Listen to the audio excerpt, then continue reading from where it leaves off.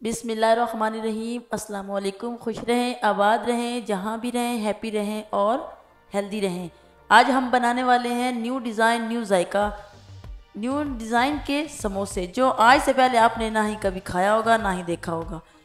इस चटनी की वीडियो आई बटन में है। रेसिपी एंड तक देखें, रेसिपी अच्छी लगे तो लाइक कर दें और विलेज फ़ूड सीक्रेट को भी सब्सक्राइब कर दें। तो ये चटनी जो आपको नज़र आ रही है अच्छा पहले तो ये समोसे समोसे माशाल्लाह देखिए कितनी क्रिस्पी नज़र आ रहे हैं, कितने ज़बरदस्त नज़र आ रहे हैं। ये देखो, न्यू डिज़ाइन के, जैसे ये समोसे न्यू डिज़ाइन के, इस तरह इनका जायका भी बहुत ही अलग डिज़ाइन का होगा। बहुत मज़ेदार होंगे, बहुत क्रिस्पी होंगे। वीडियो को एंड तक देखेंगे तो आपको समझ आएगी इसमें क्या ऐसी राज की बात है, जिससे समोसे बहुत ज़्यादा ज़बरदस्त, जायकेदार, खुशबूदार बने हैं। तो चलिए स्टार्ट कर लेते हैं। मैंने यहाँ दो कप मैदा लिया है और इसमें हम थोड़ा सा सफ़ेद ज़ीरा ऐड करेंगे और दो टेबलस्पून हमने इसमें ऑयल शामिल किया है। इससे आटा जो वो बहुत ही क्रिस्पी और क्रंची बनेगा, इसलिए हम इसमें ऑयल शामिल करते हैं। तो ये देखो, अभी हमने पानी डाल के इसको गूंद लिया। अच्छे अच्छे से गूंद लेना है। सख्त सख्त आटा रखना। देखिए, मैंने बहुत अच्छे सख्त रखा है पंद्रह मिनट के लिए इसको। कवर कर देंगे। तो अभी हम दूसरा मटेरियल तैयार कर लेते हैं। ये देखें, एक किलो हमारे पास आलू हैं। हमने थोड़े से ज़्यादा समोसे बनाने, इसलिए थोड़ा सा सामान भी ज़्यादा। ये हमने ग्रीन चिल्ली जो ब्रीक पीस के डाल दिया और ढेर सारा धनिया डाल दिया है। अब इसमें डालेंगे मोटी कुटी हुई लाल मिर्च।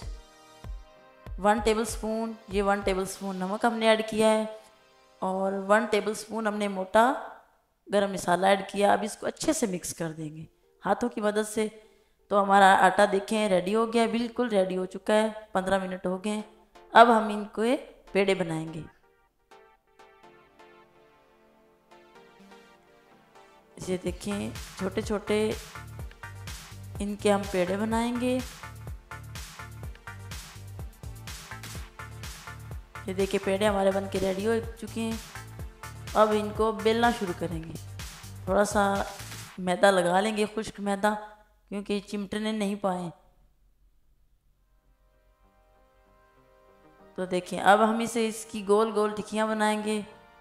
आप किसी मदद से भी गोल ढक्कन ले लें, या कोई चीज़ भी इस्तेमाल कर सकते हैं। पर गोल गोल बनाने हैं, ये देखो। इससे आज आपको एक नए अंदाज new design new style new जायका, जायके के समोसे देखने को मिलेंगे। और बहुत ही मज़ेदार समोसे बनेंगे। आप भी इस तरह की रेसिपी अपने घर में ज़रूर ट्राई करके देखें। इस तरीके से ही बनाना तो आपको बहुत ही मज़ेदार लगेंगे। ऐसी खुशबू आएगी कि जैसे जब भूख बिल्कुल भी नहीं होगी, तब भी आपका जी इस समोसों को खाने को चाहेगा। अपने आप को इन समोसों से रोक नहीं पाएँगे। देखें, अब इसमें से मैंने दो बनाई हैं। छोटे छोटे आपने सभी पेड़े के ऐसे ऐसे गोल गोल टिकियाँ बना लेनी हैं।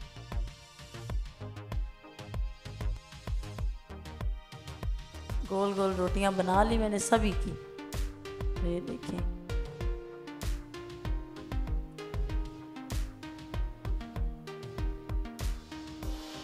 ये देखिए, इस तरह के, इस स्टाइल के, इस डिज़ाइन के बनाए हैं मैंने समोसे यो न्यू स्टाइल है बिल्कुल। देखिए, माशाल्लाह कितने ज़बरदस्त लग रहे हैं। इतनी खूबसूरत लुक आ रही है इनकी, देखिए।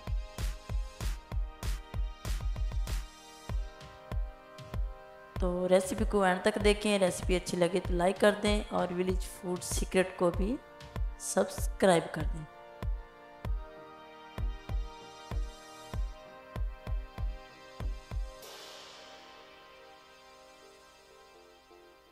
ये देख के मैंने इसके ऊपर डेकोरेट की थोड़ी सी आप भी किसी भी चीज़ से इनको डेकोरेशन कर सकते हैं इसके ऊपर। देखिए, माशाल्लाह माशाल्लाह, इतने ज़बरदस्त बने समोसे मैंने बनाए हैं।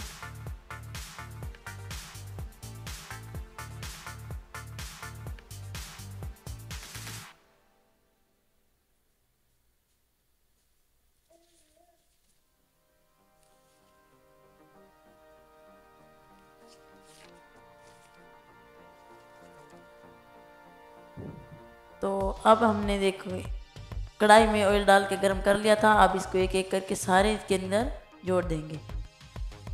तो हमने आँच को, फ्लेम को मीडियम टू लो रखना है, ज़्यादा हाई नहीं करना। क्योंकि अंदर से तो पहले ही पके हुए हैं, हमने सारा मसाला अच्छी तरह से पका हुआ था।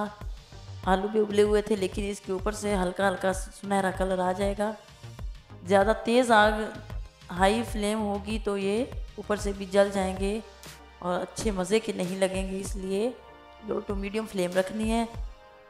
देखिए, माशाल्लाह कितने ज़बरदस्त बन गए ये देखिए मैंने एक समोसा पुराने डिज़ाइन का बनाया था, बाकी सारे न्यू डिज़ाइन के।